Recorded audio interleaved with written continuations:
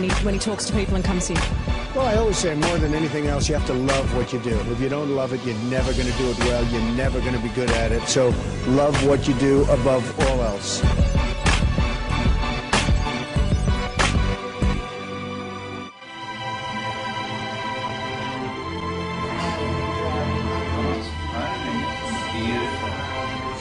Nice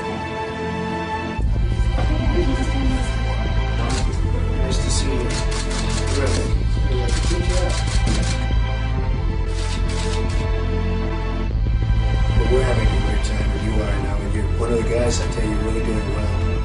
Everyone loves you. They love the job you're doing. Mark Burnett was telling me you're doing fantastic.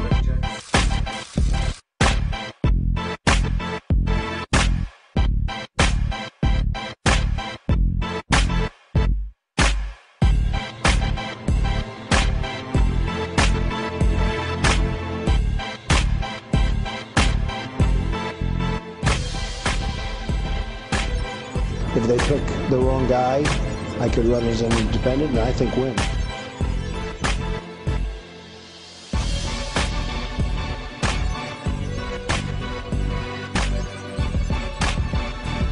He's in Australia giving his tips on success at the National Achievers Congress. And I'm going to introduce to you Donald Trump. I like speaking I worked hard. The markets crashed 1990, just like you're sitting here. Those markets were crashing. They were bad. I've learned a lot over the years, good and bad. And I like to impart the knowledge. I like to make people happy. Business tycoon Donald Trump. Donald Trump. Donald Trump. Donald Trump. Donald Trump. Donald Trump. Donald Trump. Donald Trump certainly put on quite a show. This is an amazing group of people, and it's an amazing country, and I very much appreciate it. Thank you.